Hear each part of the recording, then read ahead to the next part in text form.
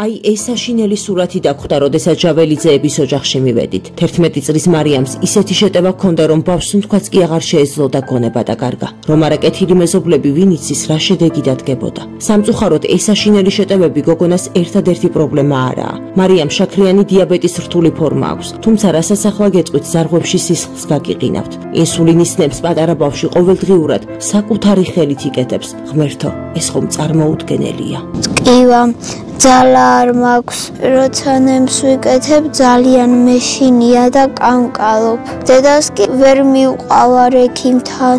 როცა ძალიან დიდი მაქვს შაქრები, თქო უფასრო ბავშვებივით კარგად ვიყო.